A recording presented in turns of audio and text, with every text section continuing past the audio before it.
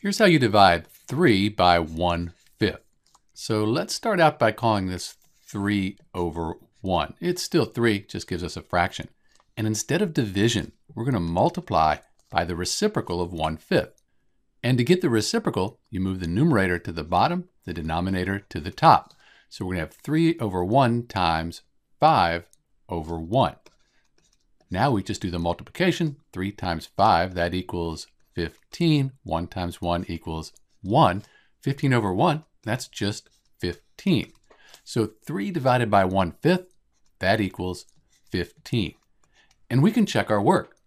15 times 1 fifth, that should give us 3. Let's try it.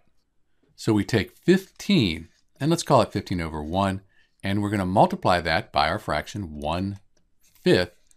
15 times 1, that's 15. And then 1 times 5, that's 5. 5 goes into 15 three times, which is what we started with up here.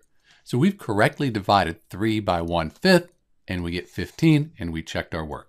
This is Dr. B. Thanks for watching.